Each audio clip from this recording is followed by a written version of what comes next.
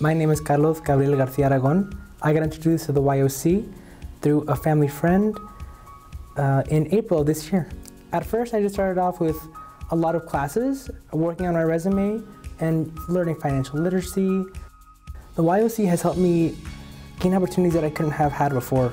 I am an intern at the Eastern Municipal Water District. I've been there since June 6th of this year, so I will be completing a full year of an internship at the Eastern Municipal Water District through the YOC. I'm doing a lot of data entry and I'm actually very enjoying that, so I would like to approach a career in that, build a life here and eventually just settle down. Your life is going to get changed once you join. You may not feel like you're doing that good in life, you may not feel like you don't know what you're going to do or what you want to do. Here, they'll help you out with that.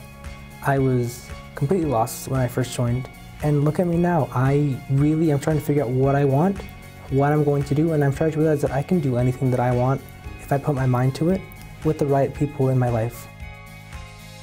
The Youth Opportunity Center has helped me do better by giving me the knowledge and the tools to improve myself, my resume, my financial literacy. They've pointed me in the right directions, and they've really helped me grow as a person.